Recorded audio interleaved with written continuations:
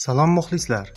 Ushbu videomizda g'ayrioddiy qobiliyatga ega bo'lgan va noyob inson keltirilgan. Slavisha Paykich quvvatli odam. Har yili minglab odamlar elektr tokidan jarohat oladilar. Ba'zilar hatto jon beradi. Bu haqida xavotir olmaydigan yagona odam bu Slavisha Paykich. Paykich g'ayritabiiy odamlar orasida o'zining tokni ushlab turish va o'tkaza olish noyob xususiyati bilan ajralib turadi. U o'zining tanasidan elektr quvvatini xohishiga qarab chiqara oladi. Masalan bir teleko'rsatuvda u taxta va qog'ozdan bo'lgan predmetlarga qo'lni tekkizishi bilan predmetlar yonib ketgan edi.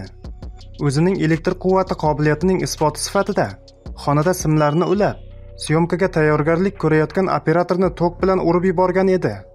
Paykich namoyishga tayyorgarlik ko'rayotgan vaqtida o'zida katta miqdorda elektr quvvatini jamlayotgan edi. Aynan shu payt operator unga ro'baro keldi. Paykichdan chiqayotgan kuchli quvvat uni qanday ahvolga tushirganini tasavvur qilib ko'ring. Asl millati serb bo'lgan bu xavfli qobiliyatli odamning bolaligi hamma qatori oddiy o'tgan. U o'zining bu g'ayritabiiy qobiliyatini 17 yoshda anglagan va hanuzgacha u bilan faxrlanib keladi. Oddiy odam 50 volt kuchlanishdan jiddiy jarohat olishi mumkin. Paykich esa o'zida 20 ming voltgacha bo'lgan elektr tokini jamlab ushlab tura oladi. 1983 yilda u 20 ming volt elektr kuchlanishini o'ziga yig'ib nafaqat tirik qoldi balki birorta ham jarohat olmadi va shu bilan jahon rekordini o'rnatdi.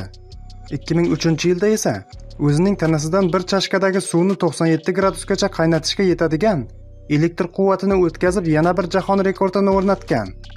Serbiyalik bu inson ehtiyoj va xohishiga qarab o'z tanasidan isitgich batareyka akkumulyator dielektrik sifatida foydalanishi mumkin. Ko'pgina tadqiqotlar va tekshiruvlardan keyin ham olimlar paykich bunday g'ayritabiiy narsalarni qanday bajara olayotganini tushunmayotganliklari yana bir jumboqdir. Ba'zilarning aytishicha bu narsa hozircha ilmga ma'lum bo'lmagan irsiy qusur bo'lishi mumkin. Aslida esa buni hech kim bilmaydi.